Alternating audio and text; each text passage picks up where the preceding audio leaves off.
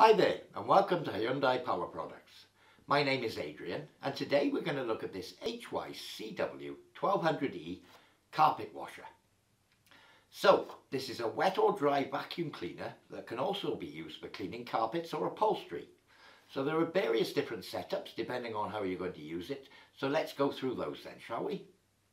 So as we're set up at the moment, you'll see I've got the wide black head on the end of the main shaft here. This would typically be used for just general vacuuming, dry goods, that sort of thing, picking up um, dust and debris from hard floors or carpets. So your traditional vacuum cleaner style head. Okay, so this head, you simply twist it and pull it off to change it. So if I were shampooing carpets, for instance, I'd probably use this wide head here. Now I'll just show you how this fits.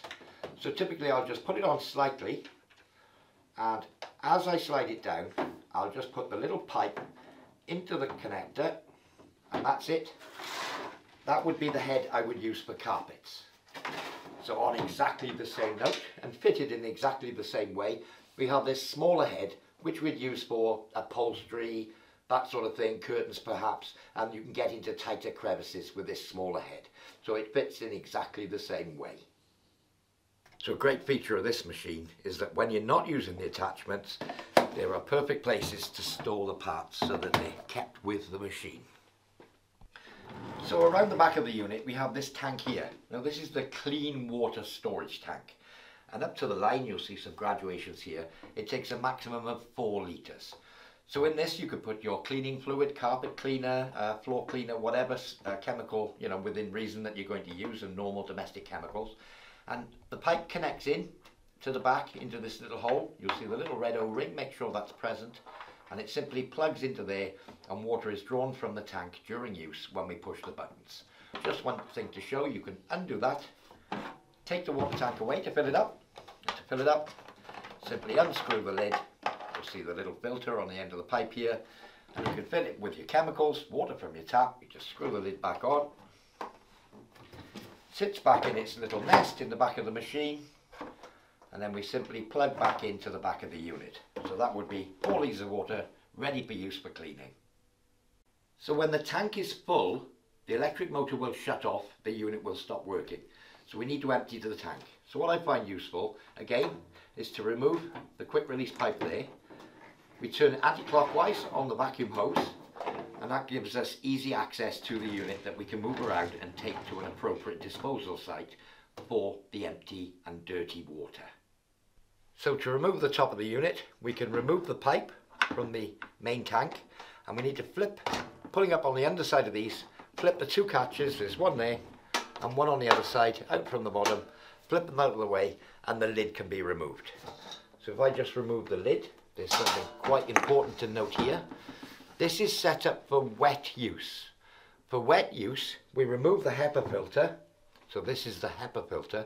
We remove this and fit this mesh sock here. It's like a foam material in black. So this would be the sock. For wet use, we fit the sock over the motor and that's what we need to do whenever we're going to be picking up fluids or wet use or shampooing. Anything where there's moisture involved needs this sock fitting. So while I'm at it, I'll just remove that and show you when we're using the unit dry, we can use the HEPA filter and again, just push it firmly into place. So that's the HEPA filter for dry use. Twist and remove. And this is the foam sock that we use for wet use. So having demonstrated the different filter setups, I'll just remove the lid. In fact, to make things easier, I'll just remove the water tank and we can now find the appropriate disposal site and pour away the dirty used liquid. Again, once you've finished with the unit, if you're going to store it for long periods of time, I would recommend rinsing out the stainless steel bucket and thoroughly drying it before you put it away. And then of course it will be ready for next time you use it. So some customers, with it being a metallic drum, have had experience of static electrical shocks from the machine.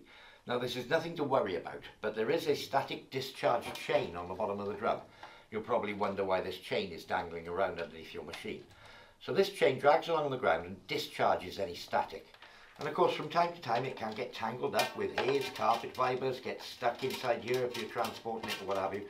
So if you're experiencing static shocks, just make sure that this chain is touching the ground. So I'll stand it back up so you can see. And as you can see here, the chain is touching the ground there, or touching my bench in this case, but that will discharge any static electricity and prevent you getting static shocks. So just one further point to add, I've got it set up for dry use again now.